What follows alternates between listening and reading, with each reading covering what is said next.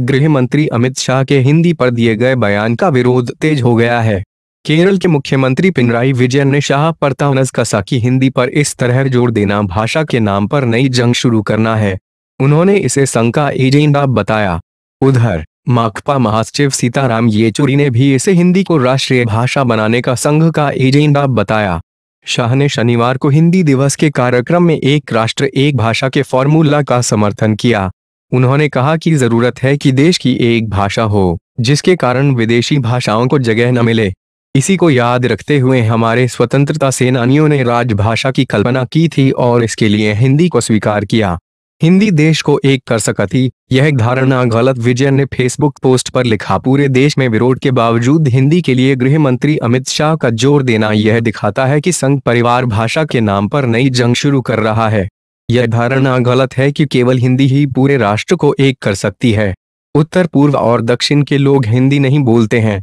हिंदी थोपने पर नकारात्मक प्रतिक्रियाएँ आएँगी, ये चोरी ने कहा। संघ का एजेंडा है कि हिंदी को राष्ट्रभाषा के तौर पर लागू किया जाए।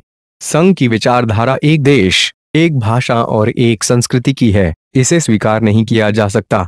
हमारे संविधान में सूचीबद्ध सभी भाषाएँ राष्ट्रीय भाषाएँ हैं। हिंदी संवाद की भाषा के तौर पर उभर सकती है, लेकिन इसे थोपे जाने की कोई भी कोशिश केवल नकारात्मक प्रतिक्रियाओं को ही जन्म देगी और ऐसा पहले भी हो चुका है। सभी भाषाओं को बराबरी का दर्जा दिया जाना चाहिए।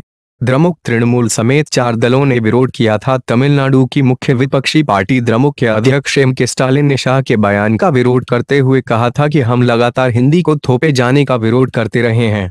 गृह मंत्री के आज के बयान ने हमें झटका दिया है। इससे देश की एकता पर असर पड़ेगा।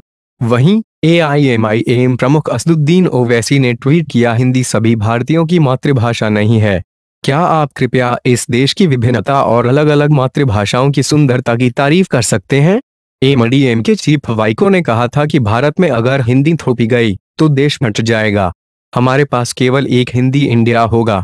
उधर पश्चिम बंगाल की मुख्यमंत्री ममता बनर्जी ने कहा था कि हमें सभी भाषाओं और संस्कृतियों का बराबर सम्मान करना चाहिए।